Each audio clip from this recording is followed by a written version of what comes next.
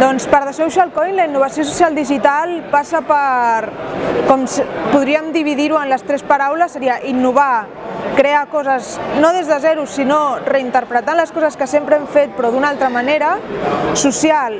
Si no, si no serveix per la societat, jo crec que, o creiem des de The Social Coin, que avui dia ja no té sentit invertir els nostres esforços en, algú, en alguna cosa que no realment reverteixi en la societat.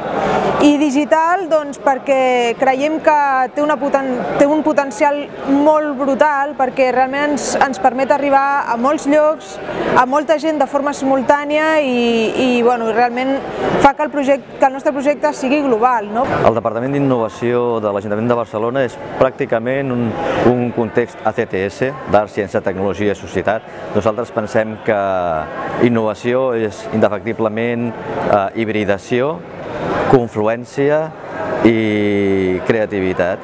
Per mi la innovació social és introduir una cosa nova, no esperada, per tant, sorprenent, eh, a la societat i per millorar la societat.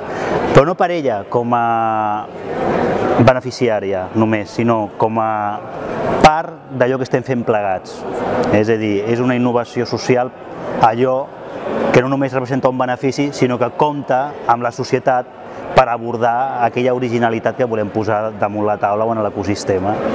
Nosaltres apliquem la innovació social en diferents conceptes. Un, que és el molt bàsic, és el que ens hem introduït amb l'economia social i solidària, que vol dir que eh, treballem un projecte d'innovació social però amb una excusa de sostenibilitat i de, de coneixement compartit, d'economia col·laborativa, circular, etc.